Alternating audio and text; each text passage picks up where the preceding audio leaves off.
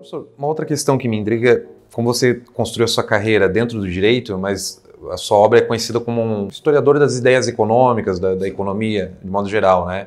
Você sempre trabalhou muito com as questões do, do, capitalismo, da globalização, temas que continuam ainda atuais. Né? Como você avalia essa, essas questões é, no dia de hoje? Uh, bom, durante uns anos investi muito uh, no estudo dos países subdesenvolvidos. A minha tese de doutoramento é sobre industrialização e desenvolvimento, o, o, a economia política do modelo brasileiro de desenvolvimento. Uh, a partir de, de, do tema que eu escolhi, industrialização e desenvolvimento, dei-me conta rapidamente que estava a estudar o Brasil e a economia sul-americana, que era na altura o grande laboratório dos países subdesenvolvidos que passavam por inflações galopantes uh, complicadas. Uh, bom, então uh, gastei uns anos a, a, a, estudar essa problemática. O, o estudo dessa problemática obrigou-me porque estava na altura, uh, a altura da crítica aos, uh, aos modelos de intervenção do Fundo Monetário Internacional, baseados na, na filosofia liberal, na altura ainda não se falava de neoliberalismo, era o liberalismo, e o que eu encontrava nos autores que estudei, enfim, o meu grande mestre foi o Celso Furtado, e foram outros que depois se disseram e que fizeram o contrário do que escreveram, como o Fernando Reis Cardoso uh, e, e, e, o José Serra uh, e, e, outros que tais, que eu conheci o Serra e outros quando eram trotskistas, escreviam na revista trotskistas, e o, e o Fernando Reis Cardoso quando, enfim, fazia análises corretas e rigorosas sobre a realidade brasileira, Uh, mas enfim, o grande mestre, o mestre do mestre foi mesmo o Celso Furtado. E eu ouvia falar do liberalismo, a crítica do liberalismo as soluções liberais. Então eu fui saber o que era isso do liberalismo. E então gastei muito tempo a estudar o liberalismo.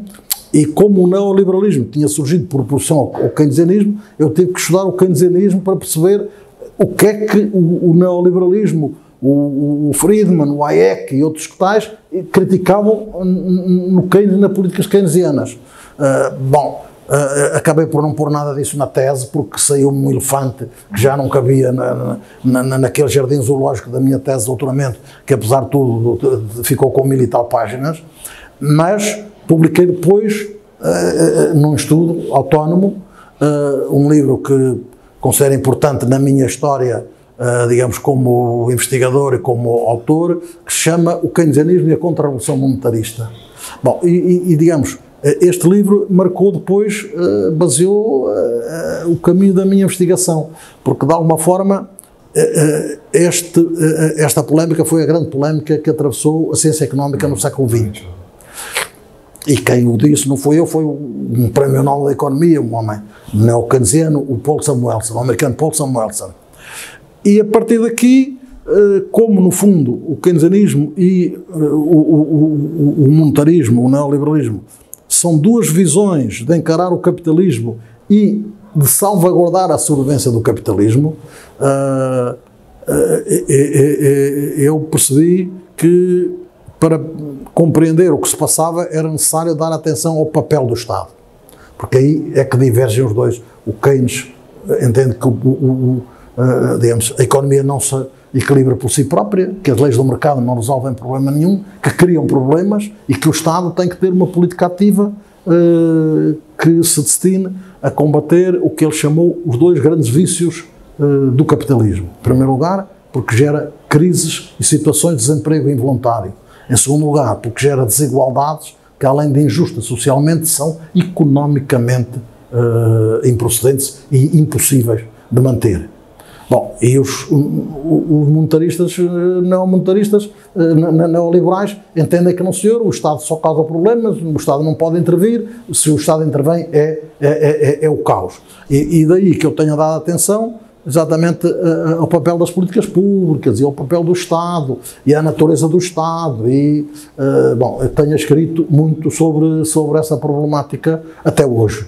Uh, até hoje. Claro que a, neo, a, a, a globalização em que estamos caídos nas últimas décadas é, a meu ver, digamos, o invólucro das políticas neoliberais, porque eu entendo que não há uma globalização que o que está a passar não é uma globalização consequência inevitável do desenvolvimento científico e tecnológico, como quer o discurso dominante. Eu entendo que a globalização é uma política neoliberal, num quadro de mundialização. Mas uh, não podemos dizer que o que se passa aí, todas as políticas neoliberais que fazem a globalização e as políticas de globalização neoliberal são consequência do desenvolvimento científico e tecnológico. São, foram, foi tudo criado pelo poder político ao nível da estadual e, e ao nível das instâncias internacionais, uh, peça a peça, sistematicamente para prosseguir determinados objetivos a partir do momento em que, uh, uh, na passagem eh, digamos, da década de 70 para a década de 80, mas a partir do início da década de 70, com as famosas crises do petróleo, eh, se descobriram novos males no mundo. Eh, surgiu o que ficou conhecido por estagflação, até aí as crises geravam situações de depressão, baixa ou estagnação da produção, ou mesmo quebra da produção, e baixa dos preços, com desemprego acumulado. A partir daí, verificou-se que, dada a elevada concentração uh, e monopolização da economia, as estruturas produtivas, os grandes monopólios, conseguiam manter os preços e até subir-os, por vezes, taxas uh, crescentes e aceleradas, uh, muito altas e aceleradas, ao mesmo tempo que o nível de produção baixava. Portanto, estagflação, estagnação junto com a inflação. E o keynesianismo não tinha resposta para isso. Os monetaristas também não tinham como se veio a verificar. Mas partiram daí para enfim, uh, acusar Keynes e o Keynesianismo de todos os males do mundo e depois veio o Reagan, a Thatcher, etc. e, e, e todo, todo o, o império neoliberal que, que vem até hoje.